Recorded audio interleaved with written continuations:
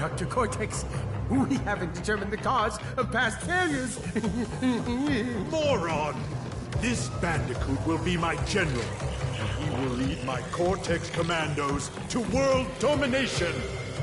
This time, I shall reign triumphant.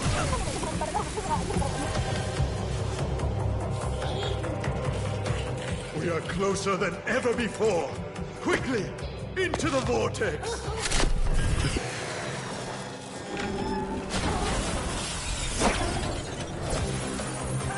Failure again.